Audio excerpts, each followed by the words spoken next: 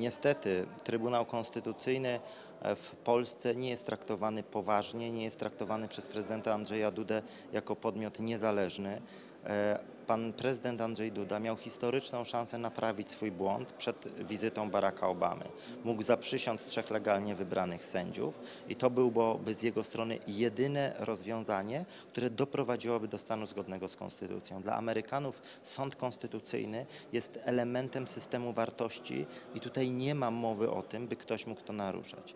Ja wiem doskonale, że prezydent Barack Obama będzie zwracał na to uwagę, dlatego że dyplomacja amerykańska od dłuższego czasu jest z nami wszystkimi w kontakcie i wyrażają głębokie zaniepokojenie tym, co dzieje się w Polsce. Kolejny raz Prawo i Sprawiedliwość udowodniło, że jedynym ich celem jest zablokowanie Trybunału Konstytucyjnego.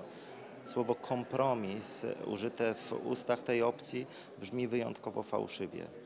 E, Tak naprawdę to, co Prawo i Sprawiedliwość chce zrobić z Trybunałem, było wiadomo już od 2007 roku. Teraz realizuje ten plan paraliżu, by Trybunał Konstytucyjny nie mógł zbadać zgodności z konstytucją obecnych ustaw e, tworzonych przez ten parlament. A przypomnę, że te ustawy naruszają prawa nie posłów, nie opozycji, ale obywateli, tak jak obrót ziemią, ustawa inwigilacyjna, ustawa o policji.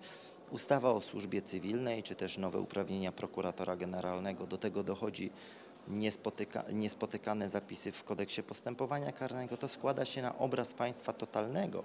Prawo i Sprawiedliwość, mając tego świadomość, chce zablokować Trybunał tylko po to, by nie mógł orzekać o ich niekonstytucyjnym prawie.